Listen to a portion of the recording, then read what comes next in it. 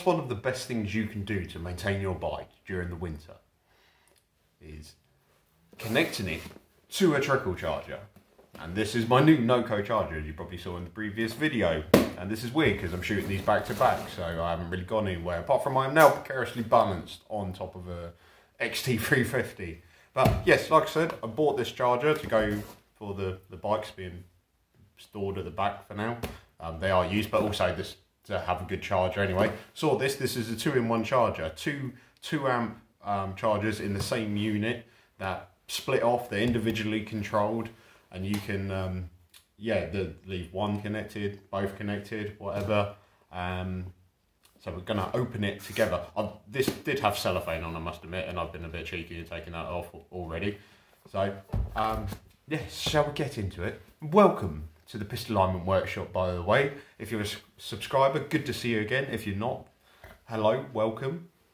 This is the Pissed Alignment Workshop. Um, let's take this uh, cardboard sheath off this box.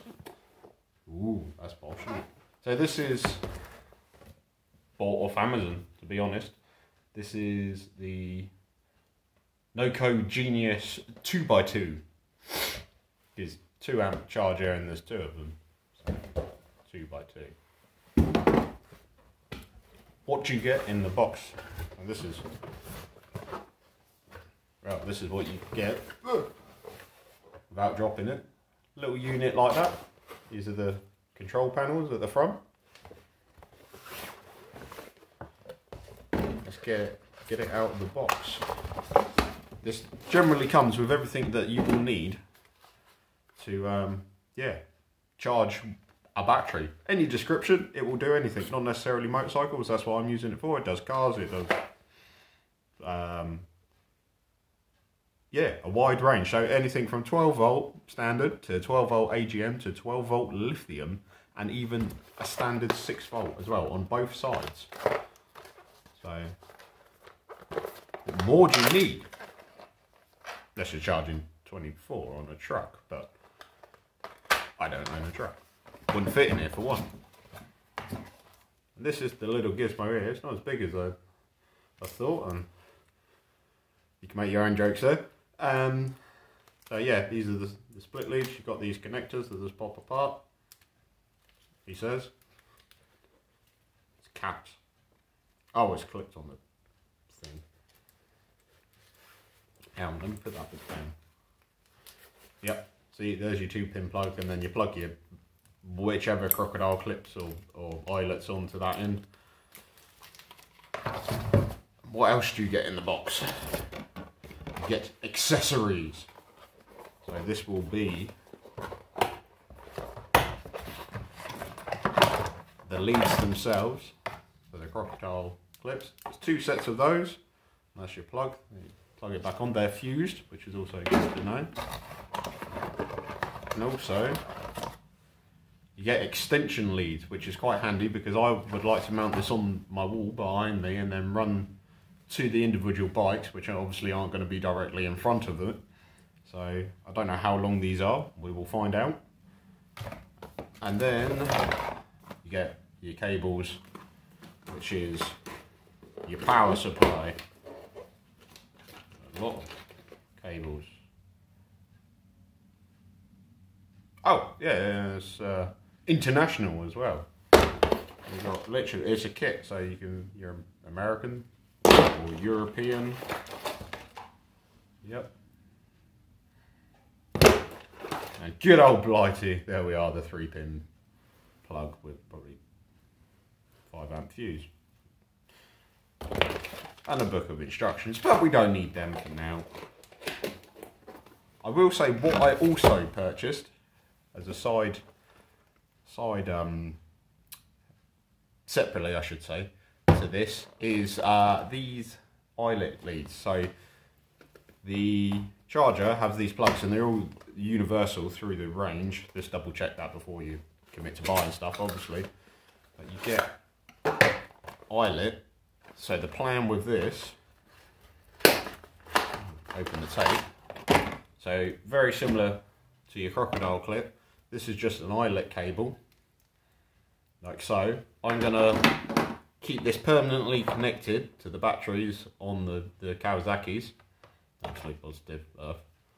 And then this plug, I'm to feed this so the majority of this is hidden and just have that sticking out so then I can quite easily, with the use of the extension plug, come along, pop the waterproof seal out, pop that together, that obviously runs off to the charger, and charge my batteries without taking all the seat and, and rear units off and the like. So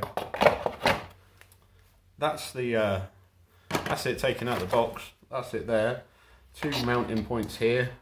No fixings included by the looks of it. So you have to find yourself a couple of screws or whatever surface you want to mount it to. Obviously you can just, it's got anti-slip um, pads on it. So you can just leave it on the side. Shouldn't, shouldn't go anywhere. It's not particularly heavy. Just make sure it's sturdy though because it's quite an expensive piece of kit and you don't want to drop it. You don't want to damage this. So I'm going to set this up. I'll go, over to the bikes and show you uh, where I really, um, what I really mean. So Toonfish, you have to bear with me with this one because I've got no proper equipment up here. So I apologise for not having a microphone and no real stand. So this is now in my hand, obviously.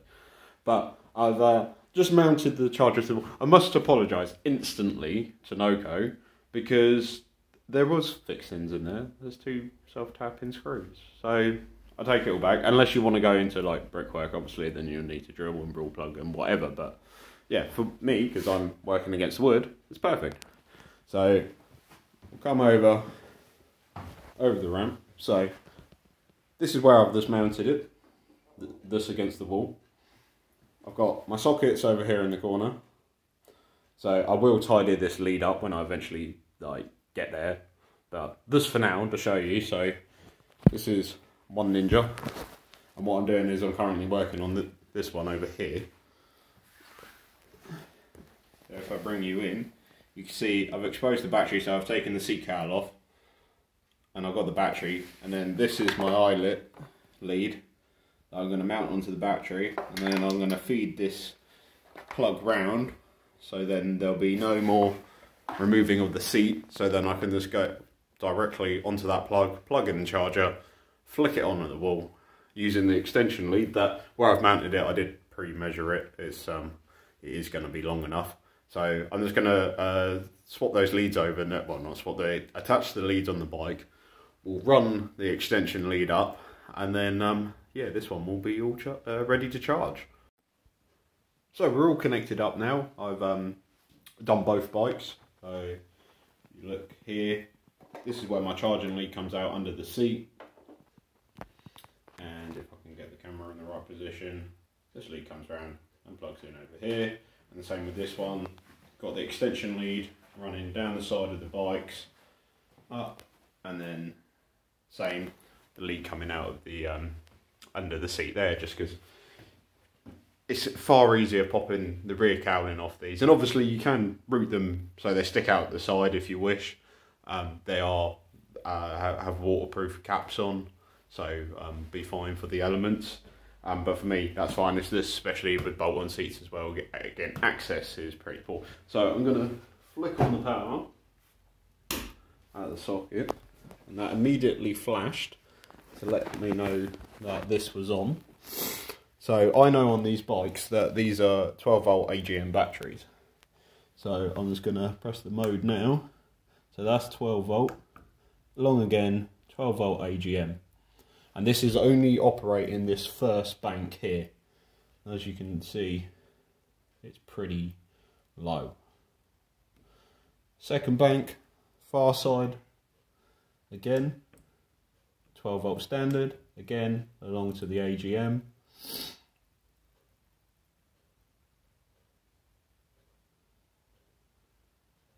and again pretty low obviously excuse my hand there obviously, as it registers the charge in the battery, it may pick up. These are percentage marks, so there's 25, 50, 75, and 100. When it's still flashing on 100, it is still charging. It will only be fully charged once that bar goes solid, and it will be green.